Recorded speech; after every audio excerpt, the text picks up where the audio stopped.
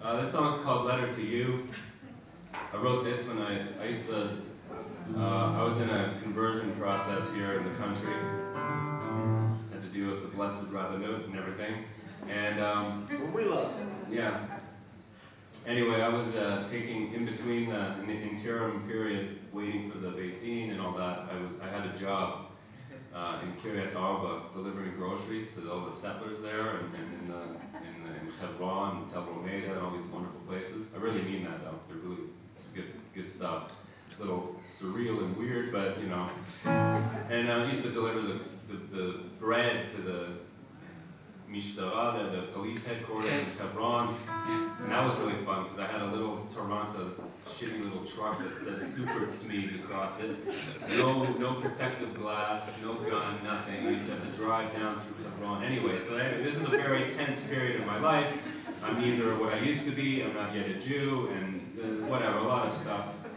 And I had this crappy little guitar, very similar to this one, that somebody lent me, and I was uh, wrote a bunch of songs.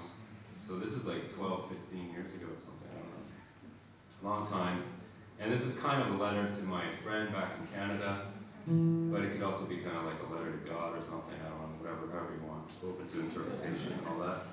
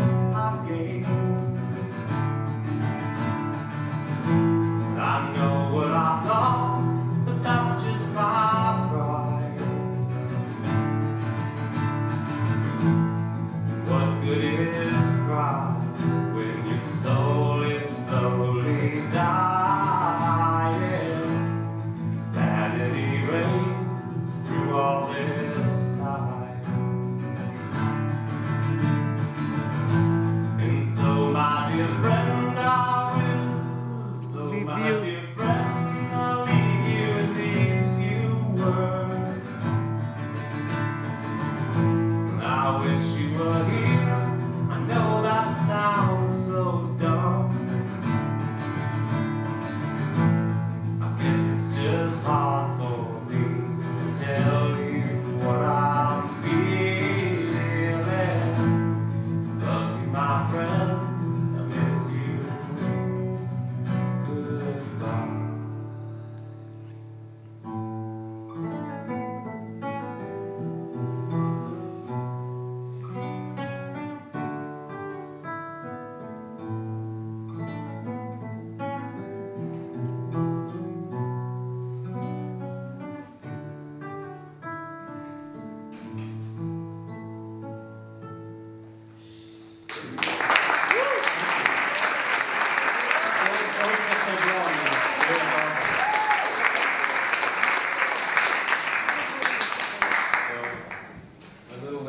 says that I'm supposed to play a, a, new song that I just wrote recently.